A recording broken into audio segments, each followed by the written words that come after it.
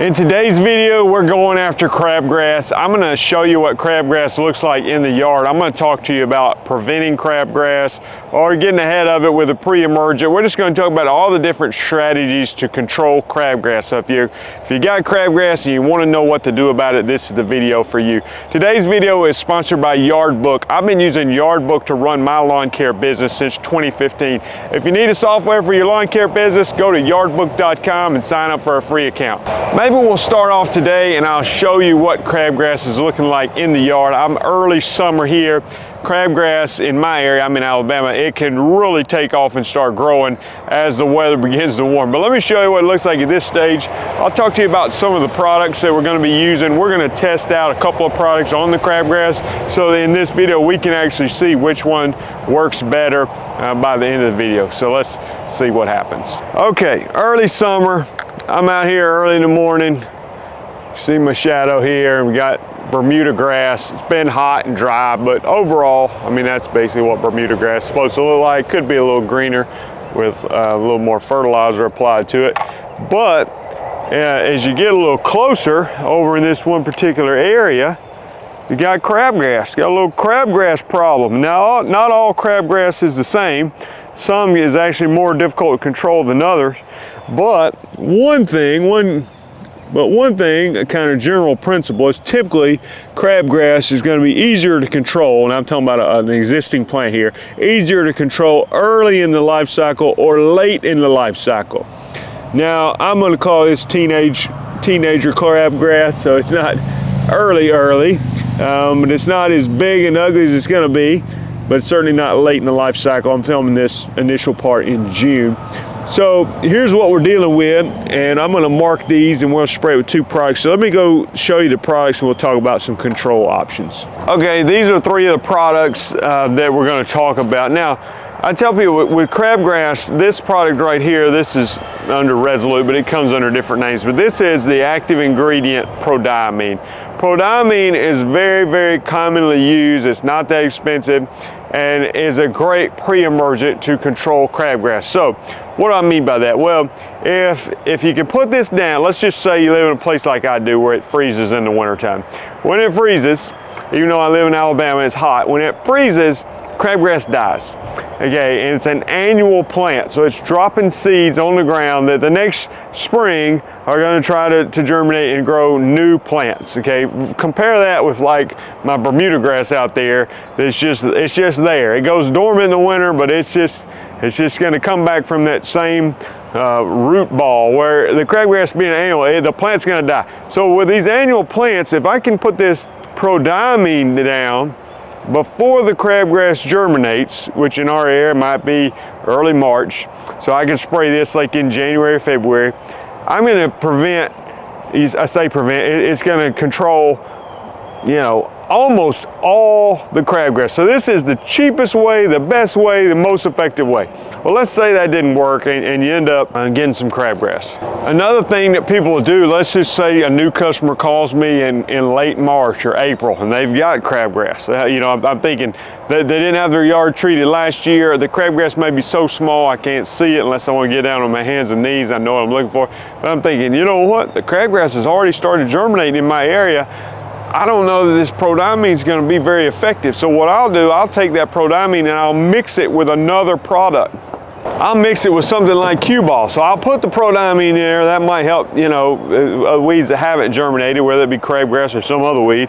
But then the Q-Ball has the active ingredient quinclorac. So I'm, I'm hoping this is a uh, a post-emergence for crabgrass, so I'm hoping that it's gonna kill any existing crabgrass. Now, it would have been far better if I'd have just put this out in January or February. Again, I'm talking Alabama time frames, adjust as you need. Uh, after the crabgrass germinated and it's still small, I'm hoping the Q-Ball will knock it out.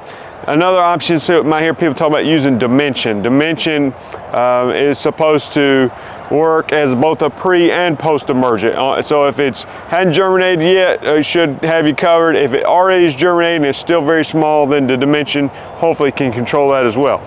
Um, so in this particular video, fly on the pre-emergent, at this point we've got existing crabgrass, so we're gonna go after it with these two different post-emergent products. We're gonna see which one works better, spray it, see what happens. We'll be able to see by the end of the video which product works better, how fast it works, does it cause damage to the grass, all these things be shown if you stay tuned to the end of this video. All right, I've got the weeds out here. What we're gonna do is spray two sections. So first up, this is the Q-Ball.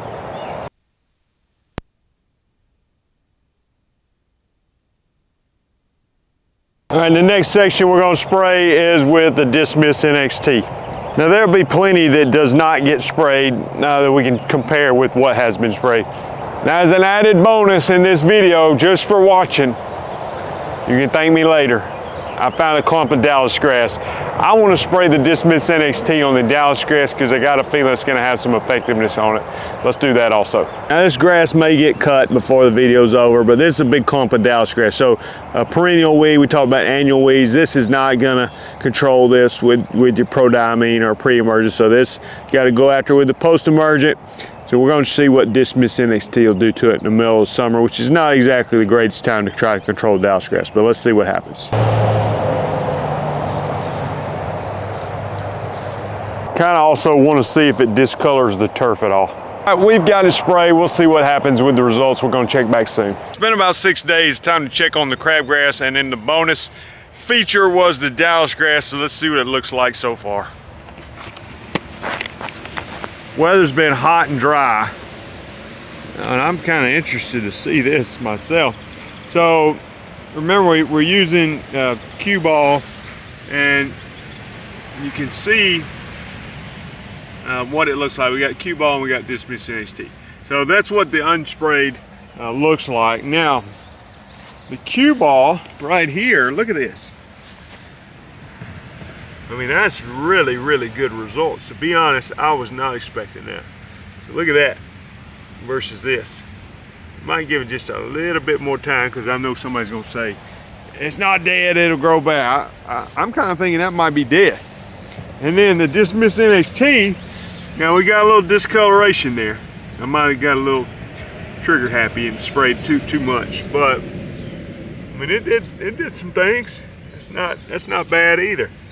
You see there, you see what was not sprayed. So got some results with that. And I want to show you the Dismiss NXT that was sprayed on the Dallas grass. Tougher situation, but even though, make sure, yeah, Dismiss NXT. You know, a tougher situation, it's pretty good. It's pretty good after, you know, a little bit of time we, have got. It's definitely not happy. You could follow it up with some Tribute Total or Celsius and Certainty. You might continue to suppress that. And we're talking about in the summertime, which is a difficult time to control weeds. Very impressive results on the crabgrass, uh, the Q-Ball. Let me just give you this as a side note to put to bed maybe something. I'm not saying this is ideal, okay?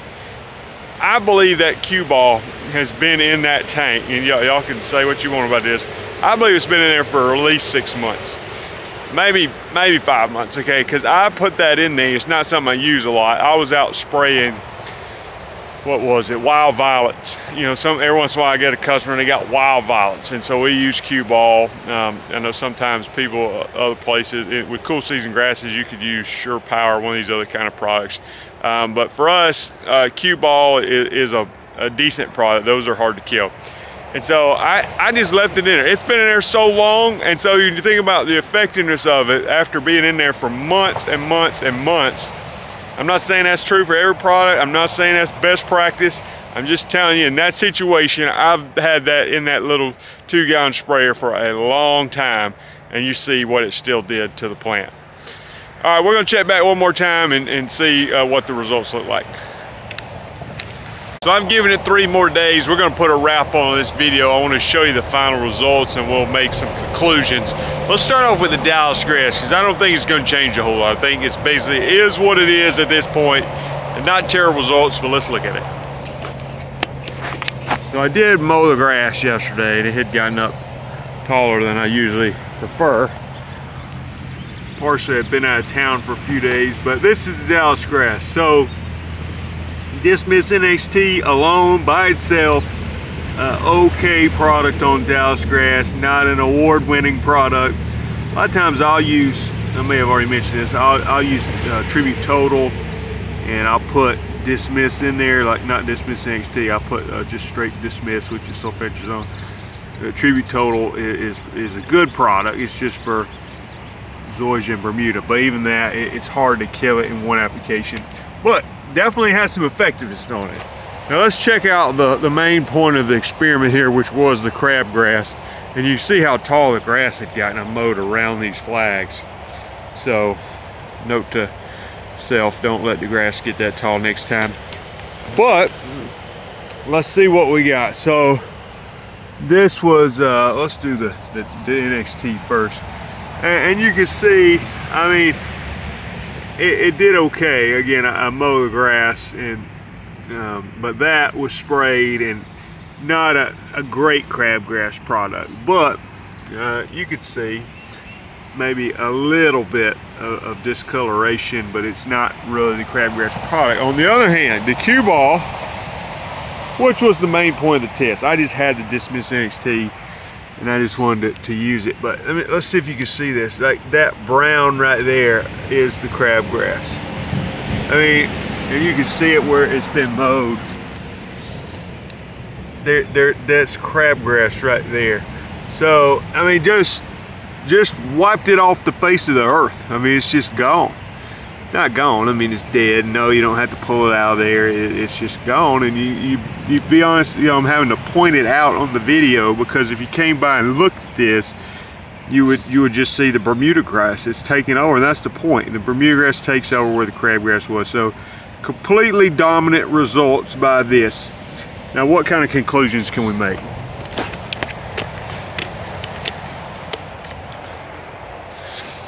Here's my thoughts.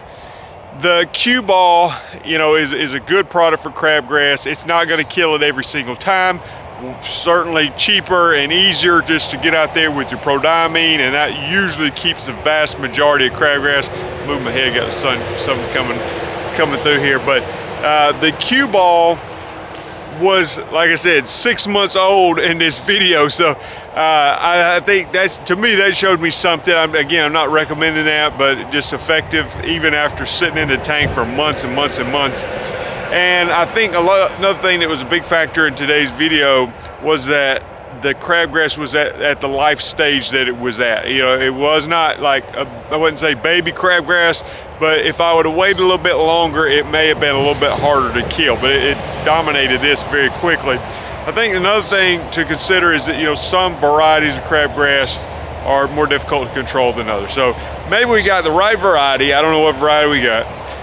And maybe we called it early enough and then we used the product that just dominated. You know, supposedly uh, Solitaire is another product that has the quinclorac in it, but it also has the sulfentrazone if I, if I remember correctly. Uh, actually is even a better product, but this obviously did well enough on its own. So hopefully this video helps you clarify and gives you an option and got there as a post-emergent for crabgrass. It also explained to you how to control it from a pre-emergent standpoint. Appreciate you watching. If you want to get into weed control and fertilization like me, you can go to lawncarelife.com. There's also uh, information about the, the Lawn Care Life conference there. I do a weed control and fertilization academy. It's a video course I sell that a lot of people that want, that live in the South or want to get, have warm season grasses, want to get into weed control and fertilization. Many, many people have taken advantage of the weed control and fertilization academy and that has helped them get started in that journey. Appreciate you watching. We'll see you guys in the next video.